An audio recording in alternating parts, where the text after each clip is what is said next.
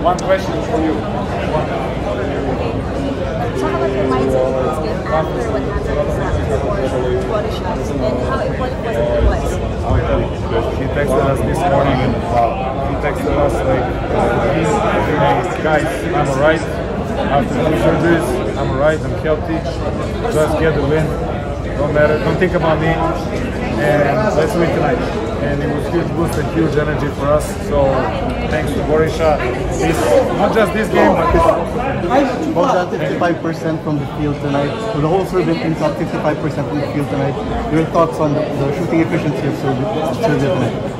I, I, I still think, personally me, I didn't shoot well for Greece, uh, but I'm happy that we won. Uh, but I didn't know we shoot 55%. That's good. Canada or Slovenia in the semifinals. Your thoughts on those two teams? We are heading towards them.